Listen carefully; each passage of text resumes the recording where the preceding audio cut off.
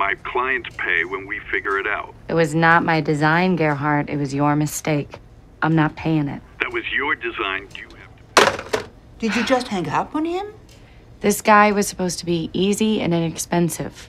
He keeps overbilling us. I'm not paying for it. Nobody pay it. I'm gonna fight it out with this guy.